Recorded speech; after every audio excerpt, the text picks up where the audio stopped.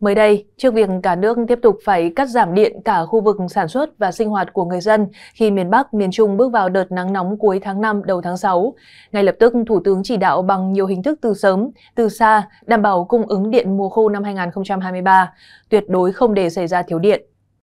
Thủ tướng vừa ban hành công điện số 517 CDTTG ngày 6 tháng 6 năm 2023 về việc thực hiện các giải pháp đảm bảo cung ứng điện mùa khô năm 2023 và thời gian tới.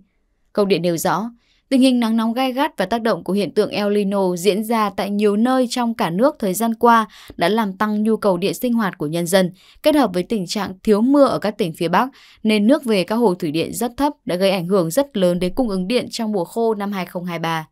Thủ tướng Chính phủ đã chỉ đạo bằng nhiều hình thức từ sớm từ xa về việc đảm bảo cung ứng điện mùa khô năm 2023, trong đó yêu cầu tuyệt đối không để xảy ra thiếu điện, cũng như lưu ý các phương pháp cụ thể khắc phục khó khăn về cung ứng điện thời gian qua. Trong đó có thông báo số 185 TB VPCP ngày 19 tháng 5 năm 2023.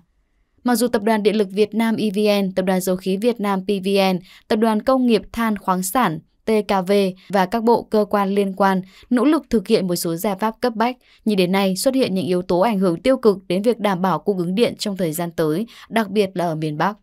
Trước tình hình khó khăn về cung ứng điện hiện nay, Thủ tướng Chính phủ yêu cầu Bộ Công Thương, Ủy ban Quản lý vốn nhà nước tại doanh nghiệp, Tập đoàn Điện lực Việt Nam, Tập đoàn Công nghiệp Than khoáng sản, Tập đoàn Dầu khí Việt Nam, Ủy ban nhân dân các tỉnh thành phố trực thuộc Trung ương, Bộ trưởng Bộ Công Thương sẵn sàng lên kế hoạch thực hiện kịch bản ứng phó với những khó khăn về cung ứng điện trong thời gian tới.